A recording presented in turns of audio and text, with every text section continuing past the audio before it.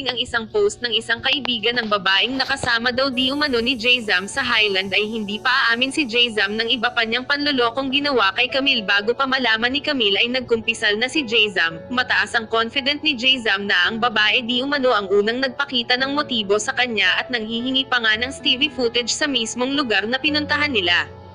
Dahil gusto daw ni Jayzam na linisin ang kanyang pangalan, pero tila malabo ng paniwalaan ito lalo na at isinawalat na ni Camille ang iba pang mga ginawa niya tuwing nagkakatampuhan sila ni Camille ayon kay Jayzam siya mismo ang umamin kay Camille ng lahat ng mga sinabi nito, at tila nagsisisi ito sa kanyang ginawa.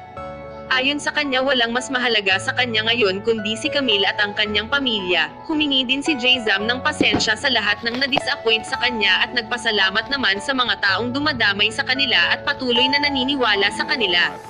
Narito ang kanyang buong pahayag. Inamin ko na lahat kay Camille. Ayaw ko nang gumaya sa iba na magtatago pa at itatanggi pa.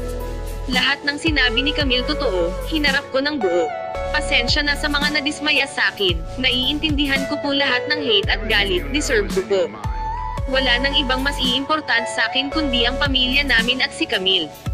Sinabi ko na lahat sa kanya, lahat po ng sinabi niya. Sa akin po mismo nang galing yun at inaamin ko po lahat ng iyon.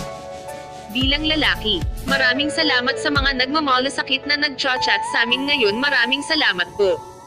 Sa pagkahulog namin, mas lalo naming nakikilala kung sinong andito para sa amin at kung sinong totoo sa amin.